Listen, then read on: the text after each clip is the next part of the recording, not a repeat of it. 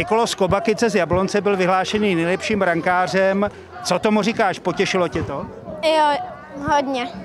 Jak se ti tady chytalo, jak ti pomáhali spoluhráči? Jak, jo, dobře, mi pomáhali. A jak jsi spokojený s výsledkem týmu?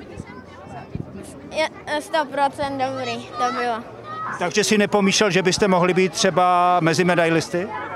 Mm, ne, Chytáš od začátku eh, své fotbalové kariéry nebo si hrával v poli? uh, hrál jsem v poli, A kdy ses a proč přesunul do brány? protože jsem, jsem mi chtěla chytat a bylo to zábavné. To je dobrý. A jaké máš brankářské vzory? Um,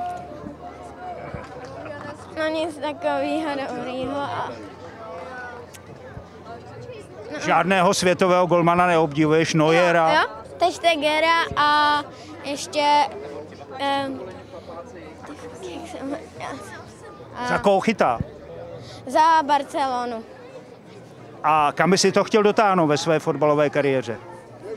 Tak třeba až do Sparty?